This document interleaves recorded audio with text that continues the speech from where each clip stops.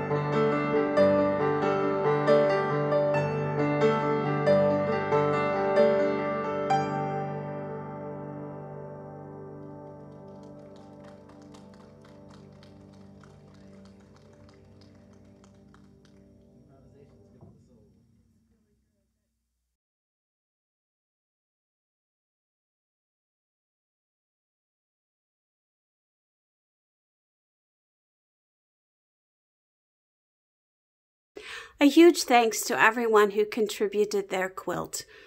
Please pass this video on to others to continue to honor Di Ford Hall's legacy.